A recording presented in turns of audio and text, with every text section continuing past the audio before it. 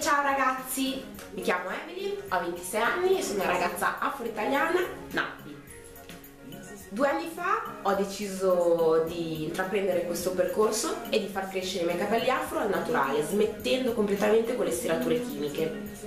Un anno fa invece ho deciso di aprire una pagina Facebook che parlasse appunto che divenisse un punto di riferimento per tutte le ragazze afro-italiane che avevano preso come me questa decisione di tenere i propri capelli al naturale.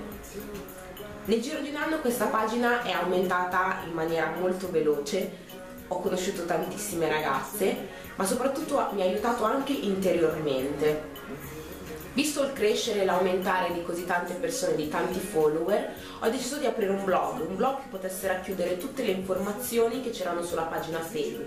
Perché come si sa con Facebook le informazioni tra stati, foto e quant'altro si perdono.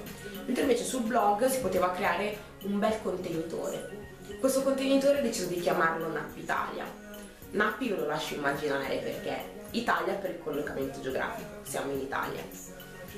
Il blog è diviso in diversi scompartimenti. Abbiamo le to il topic nappi dove discutiamo gli argomenti, i consigli, le nappi stories, sempre per portare le storie delle altre ragazze sempre nel blog, per non lasciare quel senso di community che c'è sulla pagina Facebook.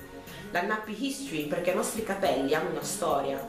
Se abbiamo stirato i nostri capelli negli anni c'è un motivo, ma noi non lo sappiamo le nappy celebrities. In Italia ci sono dei personaggi, attori, registi, giornalisti che hanno anche loro intrapreso questo, questo viaggio, questa hanno preso questa decisione.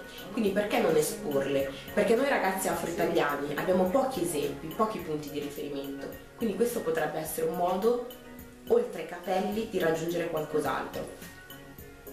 Beh, che dire, pagina Facebook, blog, però qualcosa mancava, i video, Eccoli.